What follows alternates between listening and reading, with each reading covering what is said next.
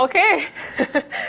Thank you very much for coming. Uh, my name is Bea de los Arcos, and I'm from the Open University in the UK. And um, um, would you go to the next one? So this is this is where I work. Where I work is the Institute of Educational Technology at the Open University. So.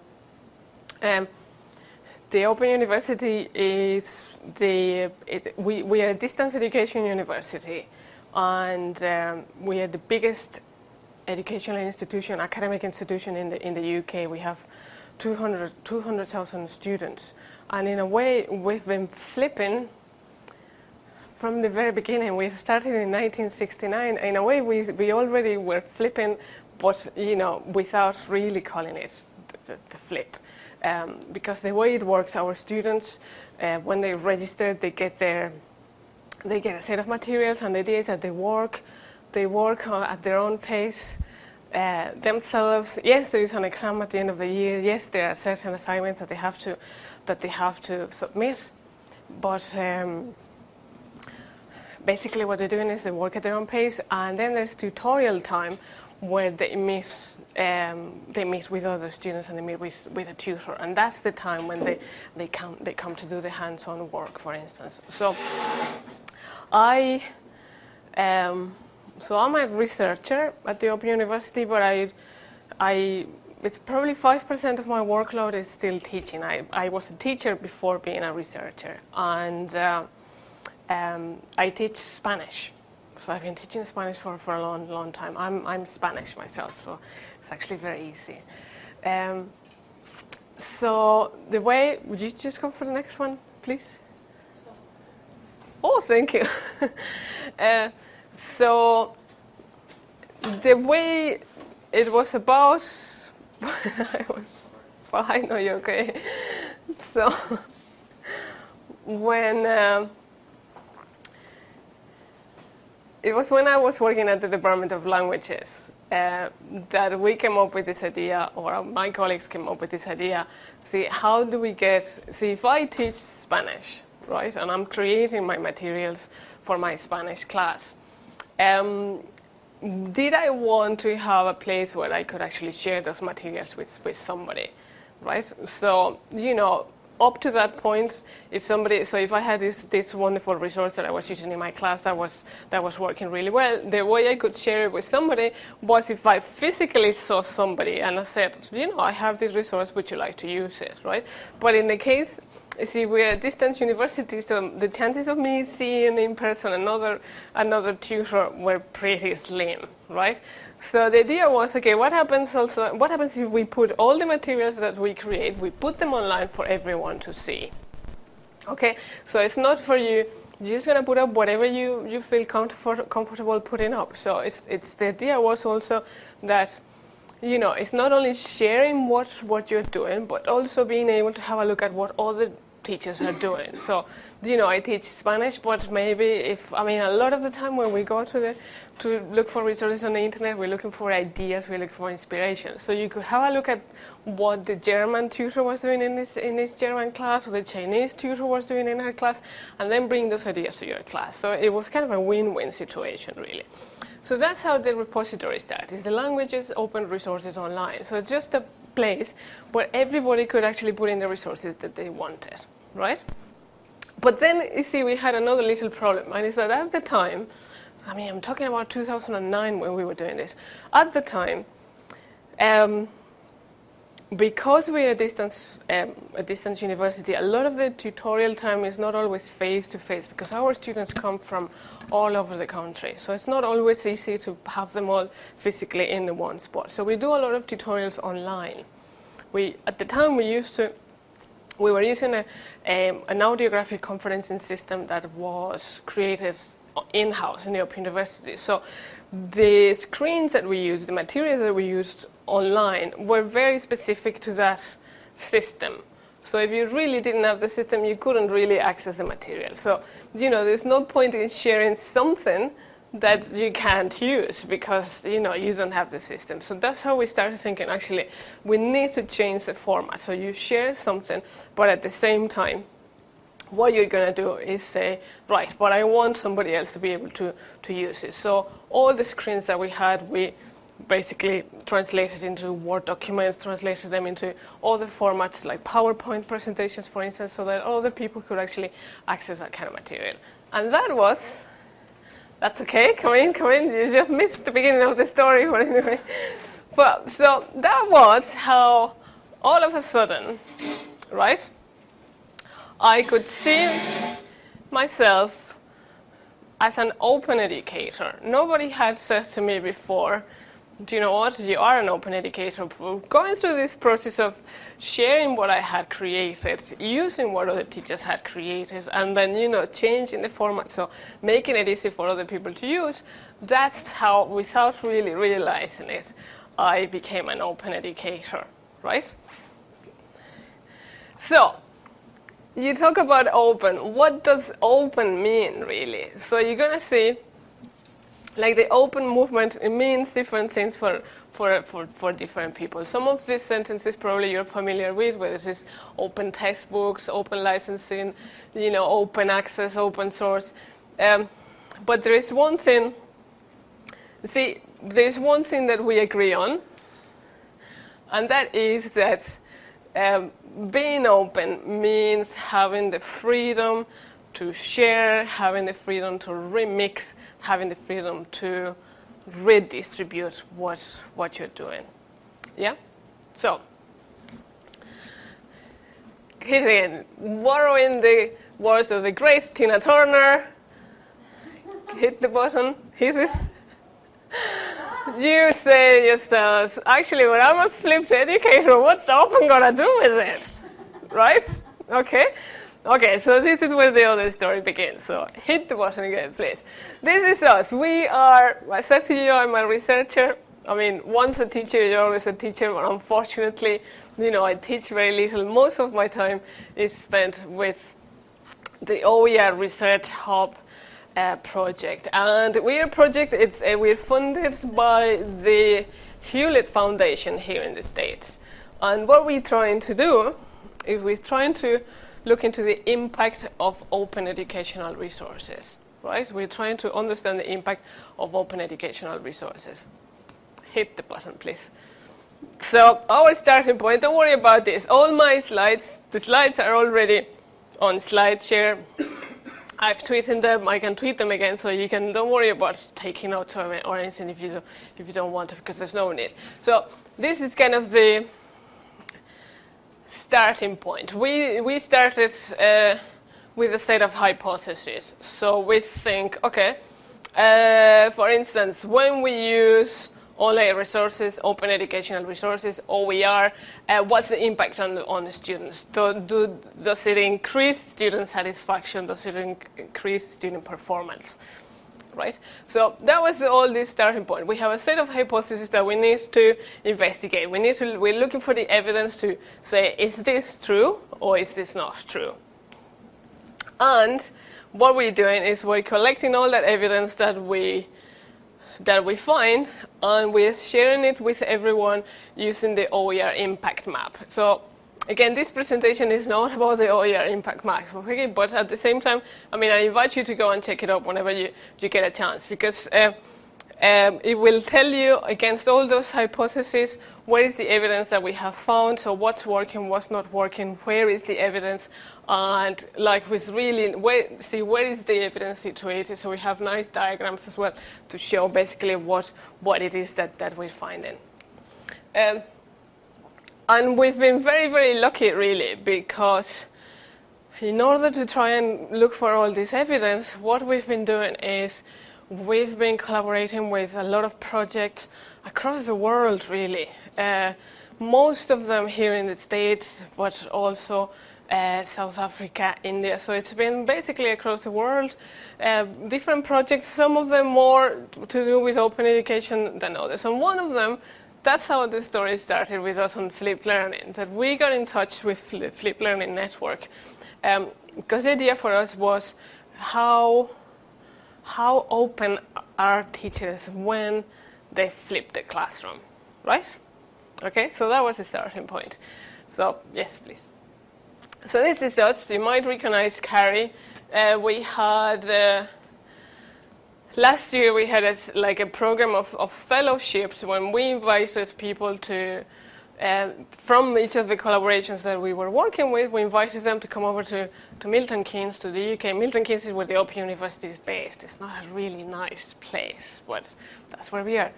So we invited, we invited, uh, we had this uh, program of, of fellowships, and we invited Carrie was one of the the people who, who came and stayed with us for, for two weeks. And so we started working together. How can we actually figure out how open are um, flipped educators? And that's, you may have seen, it was like last year, I think last April, um, there was a survey that we ran through the through the Ning community. And last year, I spent time uh, talking to teachers and looking at teachers' blogs and, and all that.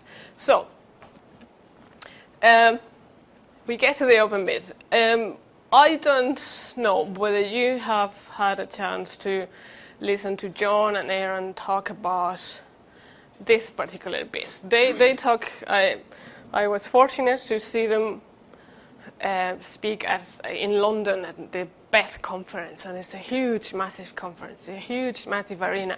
And when Jon and Aaron were, were there, they were talking about flip learning as, um, you know, it, they, they say it really sits at the intersection between those three things, between relationships, content, and curiosity.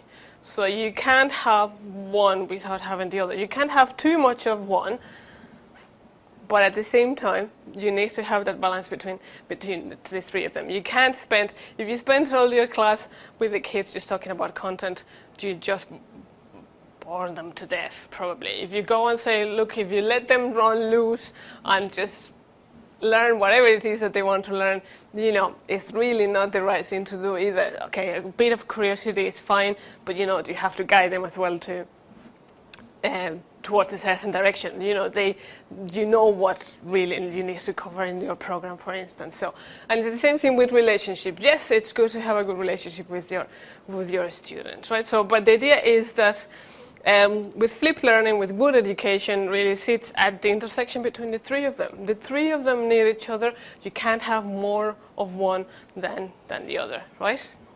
Thank you.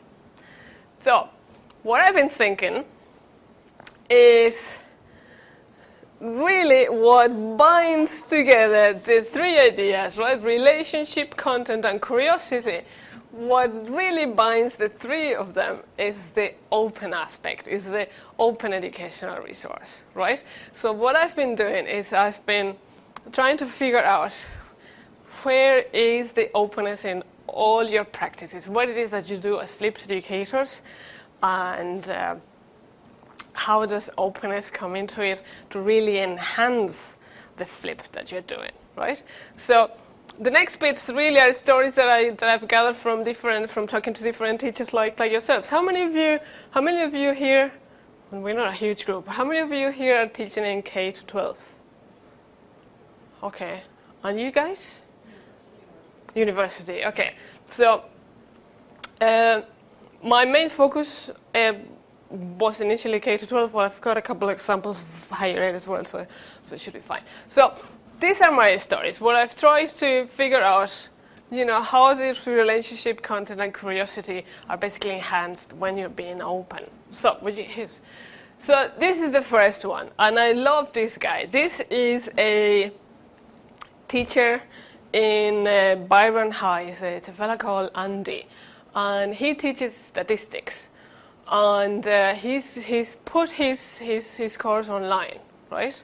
That's that's the address if you want to check up check it up at some stage. Um, but what I love about this guy, right, is that um, he explains to his kids. so this is kind of um, um, high school, right? The higher grades. And what he's saying to his kids is, do you know what? This is, he explains the difference between um, having copyright and not having copyright. So, you know, when you, when you get a book and it's copyrighted, right? Um, there's nothing we can do with it. We can't change it. We can't customize it. You know, we have to use it as as is because we don't own the copyright to change anything, right? But he's saying, and this is what I love, he's saying, uh, this course that he's created, right? He says, I do not treat this curriculum as mine. It belongs to the class and to the world, right? So one of the things that he's asking the kids to do um, as part of, of, of the assignments that they have to do is improve the course. So the course is, is there online for anyone for anyone to, to, to use, to grab, to change, to customize. But he specifically talks to the kids and said, you know what, you need to change this and you need to make it better. Right? So that's part of your assignment. Go in and change it. Right? So see how the so okay, we on the one side we have kids creating the content, right? Kids improving on the content, but see also how the relationship actually is level from. So you've got kids taking more control over their own learning. In order to actually change the, the course and improve it, they have the they they go through it. This they think this this doesn't work. This is badly explained, or they interview the other kids saying you know, what, what it is that we can do, what is the evidence that this doesn't work. So it's like they go through that process of construction. So they, in a way, take ownership of, of their own learning. So the teacher is not really up here saying, blah, blah, blah, this is what you need to do. But it's come down to kind of the same level of students when they are co-constructing, co-constructing together, right? But it's this idea, this is the idea of that openness. It's like the class, or this curriculum, this stuff that we're using, it doesn't belong to me. It belongs to the class, it belongs to the world. And that's what the internet is giving you. It's a window, it's giving you a door to actually talk to the whole world. So, this is again another example. Is again this is taken from uh, Jon's blog, and it's exactly the same situation. But see how it also works with small kids. So Jon here is talking about he's saying well he's visiting a class, and when you have this idea of kids teaching kids, so but again it's the the same idea. So the, the, these are ten year olds, and the teacher says to them you know, you're going to design, it's, it's all mathematics as well, uh, so you're going to design a lesson that you could teach to the world. So we go exactly the same idea. Your class is not the four walls that your class has. Your class is now to the whole. You're making advantage or taking advantage of that, of that window to the world. So the thing is that, so they record their, their, their little lessons, so explaining the kids, explaining to other kids how, how to do stuff. That is uploaded to YouTube, right?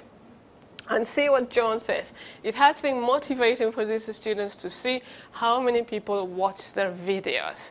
So the minute you put something online, the minute you share something with the world, your conversation is not any longer just with the kids sitting beside you, the kids working in your in your group if you if you're working in small groups. It's not your class. That conversation you're having, you're having with the with the whole world. Again, go into YouTube, check their their their videos because they're fantastic, and leave a comment, and they will love that. So it's the motivating aspect aspect of actually sharing sharing online, right? Um, there was I don't know if you took part in it. There was there was a survey that the uh, uh, Flip Learning Network and SOPHIA ran together a couple of months ago when they asked they asked you uh, what how do you measure the success of your flipped classroom, right? And 80% of you said that it was to do with student engagement and student motivation, right? So there you go. But being open, you're working, you're helping, you're just going through that student engagement, help the kids to get motivated to learn. Um, don't know if you're familiar with this. This is Math Train TV. It's exactly the same idea, but taken to a much bigger scale, right? These guys are here. I only saw. I mean, I only took this this screenshot like a couple of days ago. So the they are here presenting in some, somewhere. So go and, and, see them if, if you want. It's the same idea. This is a teacher in, in California, and what he's done is he's make, making the most of this idea that um, the kids will go through the effort to teach each other, to teach other kids, right? So what? So what started being just a collection of um, of uh, um, you know, videos. It's just been, it's just, it's just kept growing. It's kids, kids talking to other kids, kids teaching other kids. Uh, so there's there's a legacy there for everyone to use. They they've put all these videos in the one place, right, for everyone to access. And then it's the, this idea again with sharing again, with sharing with the world. We don't really know who's using our videos, but we give you permission, and that's why they have a lovely CC BY NC license. So you can't make money, but just go and use and use the videos. And again, it's the combination of, of getting the students own their own learning, having the students, the relationship with the teacher, you know, come down at the same at the same at the same level, right? Okay, let's talk about. So this is all to do with creating content and sharing that content online. Let's talk about curiosity. Uh, this is a uh, program called Vital Signs. It's based up in Portland, Maine. And what they do is they uh, it's for middle school children. Uh, it's for teaching science initially, but you see how there's a lot of teachers um, getting together, the math teacher, the science teacher, the geography teacher, getting together to work with, with vital signs. The idea is the, um, there is an expert scientist who posts a mission online, right? And um, um, this mission is to do with invasive species. They basically want us to, they, it's they sat together, together at, at, a, at, a, round table. They got the scientists in the university, they got the teachers. Um, with one worry, how can we map how far have invasive species come into Maine, right? So the idea is, okay, experts, scientists, what would you trust the kids to, what kind of information would you trust the kids to collect for you, right? Teachers, what can you do with the kids in a 40 minute class, right? So the, the, the way it works is the, the expert posts a mission online. So it's, a mission is just a question. Can you find X creepy crawly in your area, right? So the kids grab that mission. They go out. I mean, it could be just their schoolyard. It could be further afield, but they just go and see what it is that they can find. So sometimes just go, be curious, what little creepy crawlies can you find in your schoolyard, right? The idea is that you take evidence, so you photograph or you, you take photos, you, you collect all your evidence, you put all that evidence online, and you say, we think we found X. I don't know. I don't really know much about creepy crawlies or insects and stuff like that. So uh, then the expert comes in and, and he says, yes, you found it, or no, you don't find it. So this is taken to a level of curiosity with. Um, it happened like a couple of years ago that the kids just going out on their own business looking for whatever it is they were going to find, you know, they actually came across this. It was the first report of this very you know, a, a bad, really, um, algae. You know, so it was the kids. It was the kids who found it. It was the kids that said, "I think we, we think we found this." So put all the evidence online, and it was the experts coming to them. Remember when, again, Jon and Aaron talk about you might have done it in your class, genius hour, when you just let them run loose and. Uh, uh, Jon always tells a story of uh, uh, he's, he's in a class and he says, okay, what, what, what do you want to find out, kids? And they came up with this idea that, well, uh, we want to know how the brain makes decisions. Right? That was uh, that was what they wanted to find out. So they did all the research they could. They eventually, they ended up uh, skyping a, a, professor of neurology in one of the big universities. I don't know where, and they asked him the question and says, you know, so how does the brain make decisions? And the expert said, we don't know. Right? In this case, we have okay. It's a similar situation. Well, this is the case of the kids becoming curious. Um, the kids actually I mean, they, this was just a, a, wonderful experience for them. And then when they was the, the case that the experts came to them saying, yes, you found it, this is amazing, you know, you've, you've helped us so much, he did again. But see, the whole thing is that, why? Because it's this idea that everything is posted back online.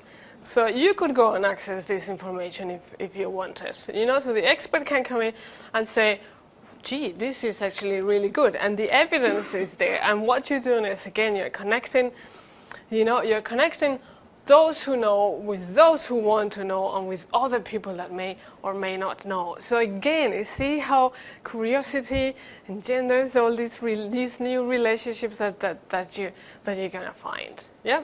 Here's again. So we're talking about relationships, right? This is... Um, this is a teacher of English, right? Uh, and the whole idea is I was asking her, well, how has the flip changed the way you teach, right? And she was saying to me, and then I think it's a wonderful quote. Said, well, you know, I'm not so much the all-knowing Oz behind the curtain that we grew up with. And it's true, isn't it? When, when I went to school, the teacher was the one who knew absolutely everything you know? So the teacher was passing on that knowledge. It was you for, you had to take notes and then you gobbled it all up and then you know there was an exam and then you you just pissed it back you know? In this case what she's saying you know it's like i am just okay i'm not exactly one of them because i'm still a teacher but the way i can work with them that relationship with them is like for them to understand that I, by no means, I'm the only that has this knowledge. I am I'm not the only one they can learn from, and I'm not the only one who knows the right answers. And how true is this, guys? I mean, you can nowadays you can Google everything, and that's it. So that's basically. So that, that what she's saying is that's the way she's changed. The flip has changed the relationship with, with the kids in with her kids in, in the class, right? If you take again this relationship, it again. If you take this relationship to a, the outside world again, right? This is Mrs. Bush, fifth grade, fifth grade class blog, right? Uh, and uh, she's asking her kids to blog about you. It's, it's, part of the math class, but it's also part of the English class. Do you have you done that? Have you asked your kids to blog?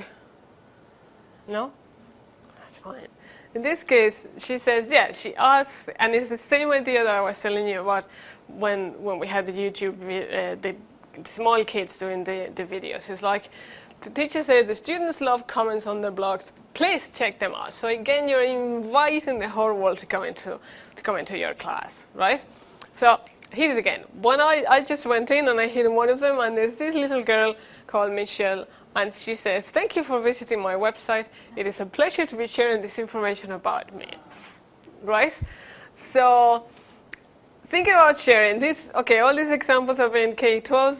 Uh, there was um, I came across months ago while I was on, on Twitter, um, I came across this group of students doing CT231 in Ireland, right? And CT231 is just a module in second year in, in college in, in Ireland, and the module is to do with information, um, professional skills, and information communication technology skills, right? And so the lecturer has them to so they spend the first semester, they spend uh, time in class just doing whatever it is that they need to do, co- cover the curriculum. The second semester, what they do is they need to work on a project. That is going to be the final year project. Um, at the very beginning of the second semester, they need to present their ideas. They need to have a couple of slides and they do a presentation in class to their, to their colleagues on what it is that they, they, they want to do, right? Now, the lecturer, the teacher, encourages them to tweet during those presentations. Not tweet, no, do you know where are you going tonight? Are we going to the pub later? No, just tweet about what it is that we what they're, they're, they're seeing, right? So they tweet about each other's presentations, and she encourages them also to publish those slides on SlideShare. She'll publish stuff either if they have a blog, just publish, publish them in a blog and invite people to come in and comment. And that's how I came across their work, right? So just on Twitter, I just happened to come across the hashtag and I started being part of the conversation. You know, because I was amazed at the incredible stuff that second years in college were were doing. They were coming up with some fantastic project. It was, you know, it was some, it was so amazing that I felt I had to say something. So that's how I started engaging in Twitter with them, and that resulted in an invitation for me to go and visit their class and talk to them in person. You know, so there is so much that you can do when you when you kind of open your class to the world when you when you when you're open. So here it again. We're very small. What's a, it's a small group. I'm just going to pause for just two minutes. Uh, I don't know. Turn. I don't know whether you can. We can do this as, as a group. Since there's so very few of us. But think about how much do you share? How much do you share, and how much do you use because it's by, it's been shared by somebody else? think about it. I mean, I, it's it's it's all about have this conversation with yourself. How much do you do you create your own your own? Have you create your? I mean, as teachers, we always create stuff, right? What do you do with that stuff? Do you share it with somebody? You share with each other because you work together. Uh, so you share. This is a paper copy, or okay.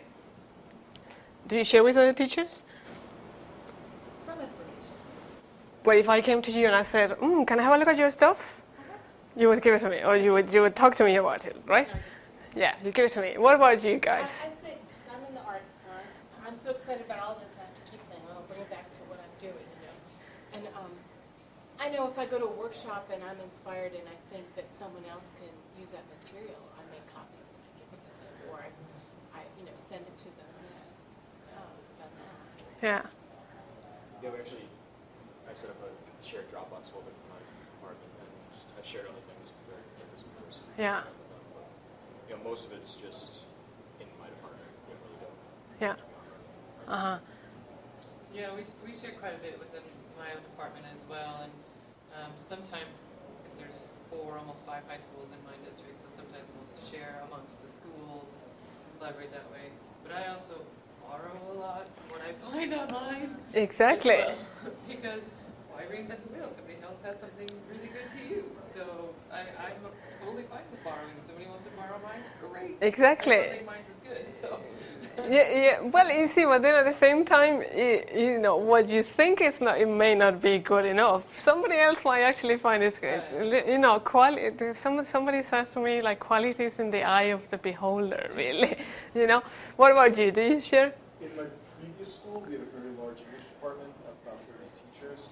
Um, and so we used, I think it was Google Drive we used, uh, to um, just basically put lessons up there, thought, um, resources, handouts, things like that. So we were kind of openly just throwing everything up there that we were doing sharing it with the department.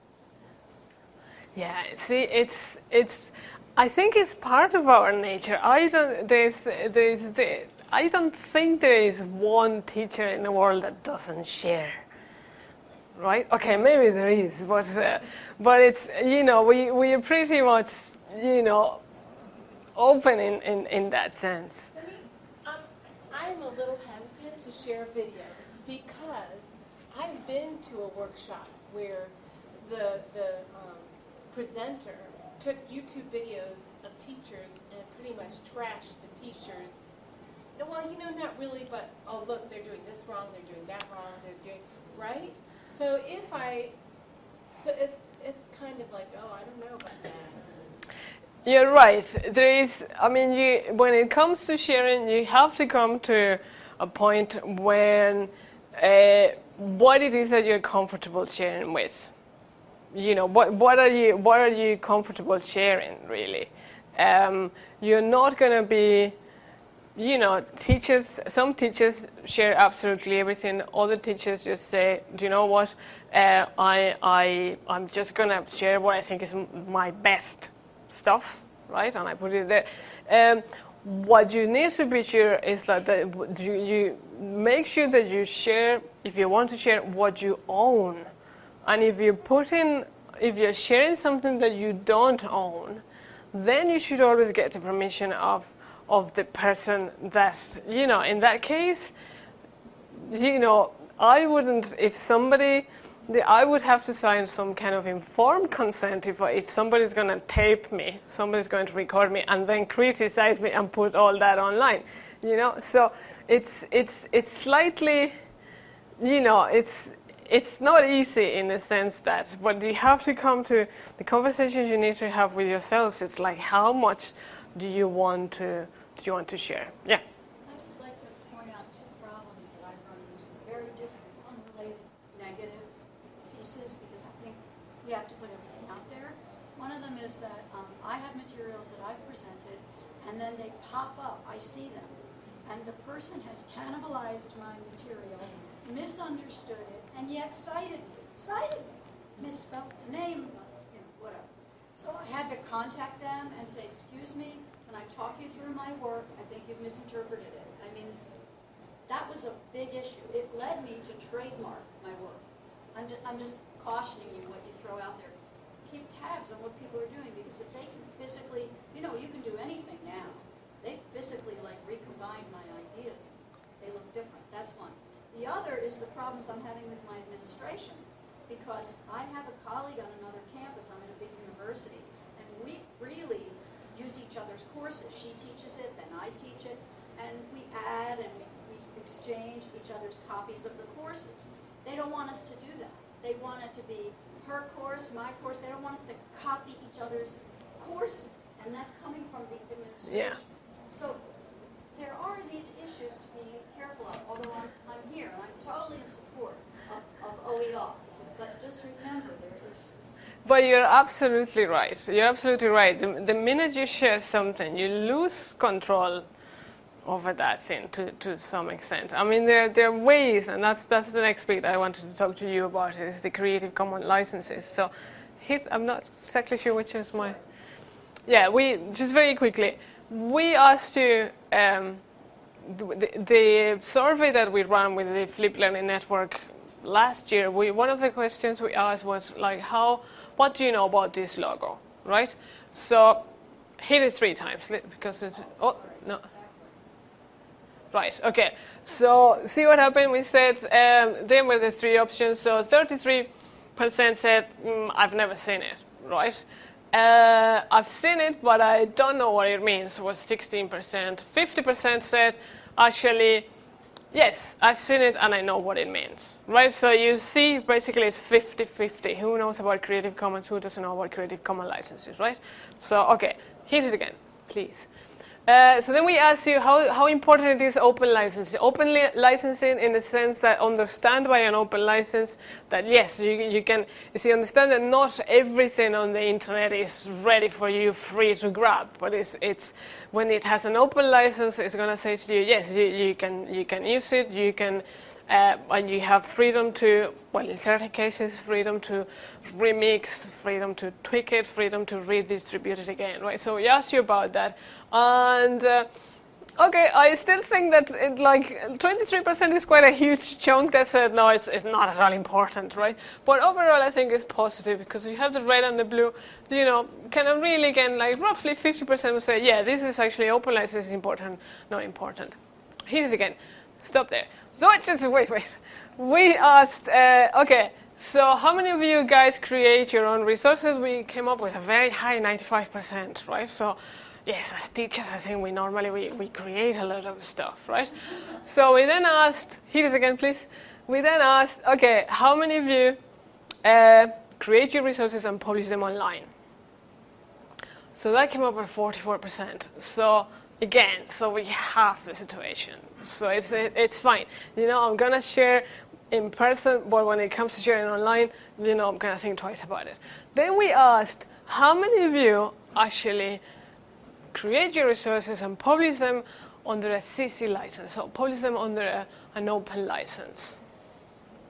And that came out to 5%, right? Um, so that's one of the things that I want to that I want to change. The idea of I'll give you one of this. What do you do? Grab one of this. This is one of the things that would like to do. I kind of because when you talk about open licenses, right? And when you talk about flip learning, you talk about being open. It's very much. Uh, it's like what happened to me in the beginning. You are open practitioners without really realizing that you're being open, right? The minute you share something, you're being open. The minute you go and look for stuff on the internet, you're being open, right? It's the only thing is that you don't tag your work yourselves as as a this is you see what I'm doing is, is, is open practice. So that's why that's why I call you you know, flipped, flipped educators for me are the, the, accidental open practitioners, right? Okay, so he's again. So that this is one of the things that we created. Uh, what I because what I would like you to do, guys, and this is your homework, right, for next for next year or for, for whenever. Um, think about when you look for stuff and when you create your stuff. It's like a Creative Commons license. What it's doing is um, the beauty of it is that you retain copyright over what you create, right? But a, like a CC license is just a way of telling other teachers um, how would you like your, your resources to be used, right? So yes, go ahead and use them, and uh, but you know, tell them, you know, make sure that you that you attribute them to me, or just go ahead and use them, but you know, I don't want you to sell anything that involves my work, or I don't want you to change anything, or I want you to change to change everything everything you, you want. So it's about this is what I would like you to see. I would like you to um, kind of be a bit more aware of your own openness, let's say, and also see when you're looking for resources, go looking for resources with a Creative Commons license if you share your resources online, share them with a Creative Commons license. You might say, but it doesn't matter, just put them in on YouTube and that's it. Actually, YouTube, you know, it's like help. You say, how do I know that I can use? See, I don't, I don't really have to be in Africa. I'm in the UK. I'm in London and I'm looking. So I teach Spanish. I'm looking for for a video that's going to help my, my, my students to see the difference between the past, different past tenses, right? Uh, I can't just go and grab anything because I, the likelihood is that I'm going to be infringing copyright, you know, copyright, somebody's copyright, right? So there are places where you can go.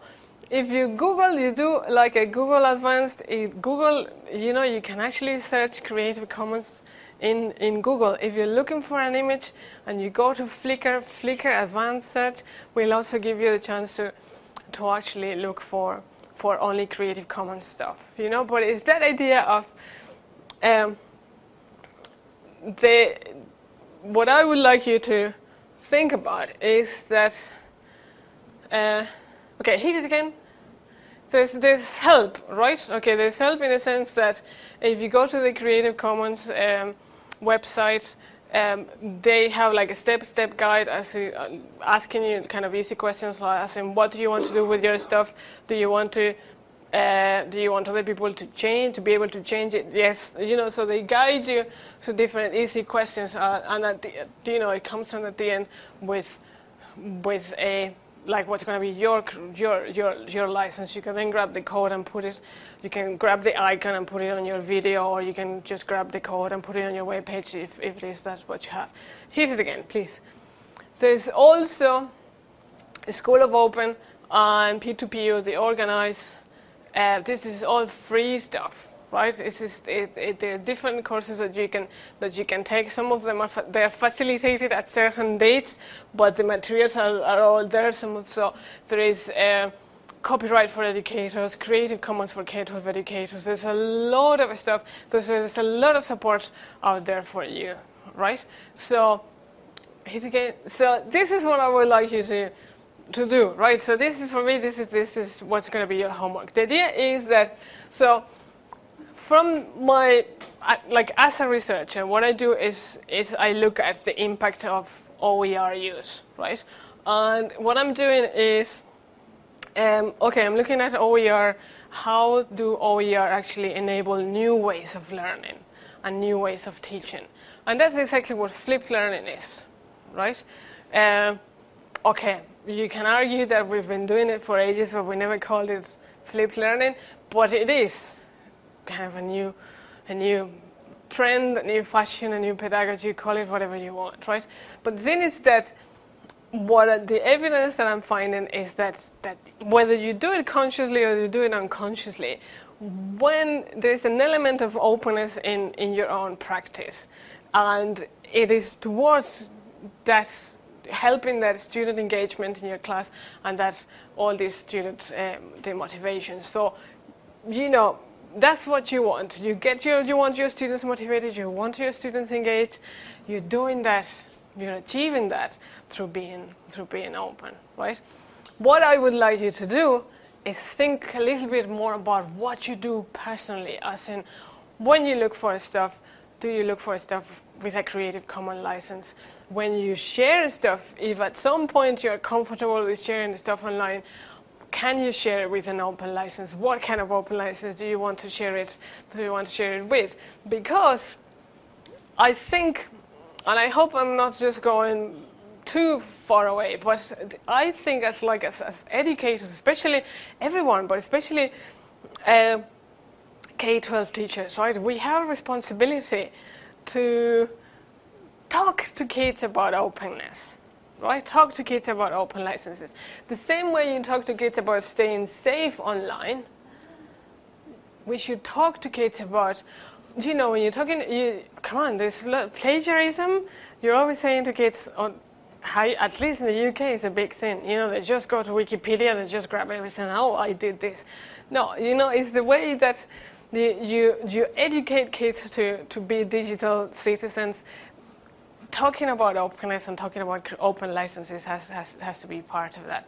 Because when you talk about this in class, that's the way these kids are going to grow up, thinking about sharing and thinking about about uh, being open. And it takes only, it's just a little bit of curiosity. If you use an image in class and your image happens to have a Creative Commons license on it, right, explain that to the kids. Hey, kids, you know what?